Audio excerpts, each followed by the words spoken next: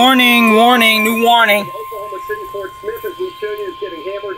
The past base severe. Arkansas. The National in the next Weather Service in. Charleston has issued a special marine warning. Oh, special for marine warning. Charleston Harbor, coastal waters from all the way up Manitoba here South Carolina to central Savannah, Georgia, 20 nautical miles. Coastal waters from Dorchester is South probably gonna be Manitoba next. South Carolina, 20 nautical miles. Waters from Manitoba to South Carolina. And folks in Arkansas have a major, major hailstorm on their hands. Santee River, South Carolina to Manitoba, South Carolina. Yeah, these type of warnings they issue down there now. Impact-based warnings. 15 p.m. Eastern Daylight Time and 5:09 p.m. Eastern Daylight Time. Doppler radar indicated a strong thunderstorm capable of producing winds in excess of 35 knots, located near Inlet Buoy, moving northeast at 50 knots.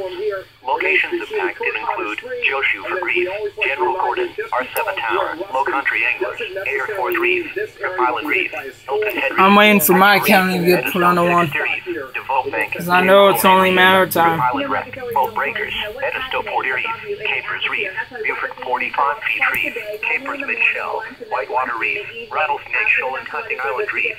Mariners can expect gusty winds, high waves, dangerous lightning, and heavy rain. Boaters should seek safe harbor immediately until this storm passes. Do this when they're expecting possible severe weather, so they, they can sample the atmosphere. Tornado watch number 70. Thunderstorm warning for portions of Colleton County in southeastern South Carolina, Beaufort County in southeastern South Carolina, Dorchester County in southeastern South Carolina until 6:15 p.m. We're officially under warning now. At 14 p.m. Eastern Daylight Time, severe thunderstorms were located along the line extending from near Smoaks to Poco Taligo, moving northeast at 40 miles an hour. Hazard, 60 miles an hour wind gusts. Source, radar indicated. This line of storms has a history of producing damaging winds. Impact, expect damage to roofs, siding and trees. Locations impacted include Beaufort, Walterboro, Yemassee, St. George and Indian Field. A tornado watch remains in effect.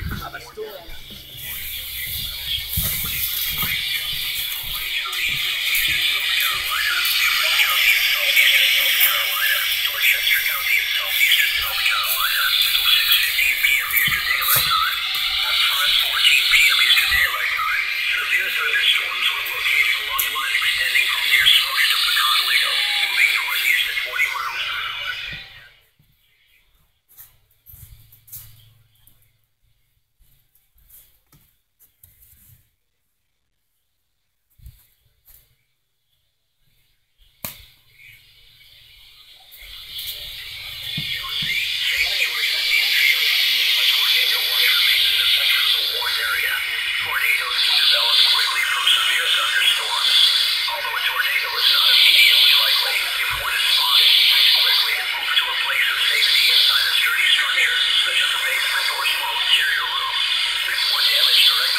Sound is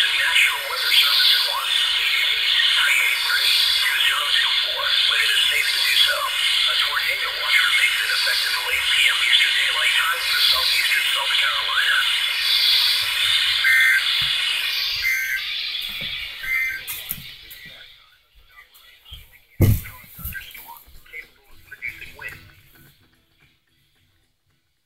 It's getting louder.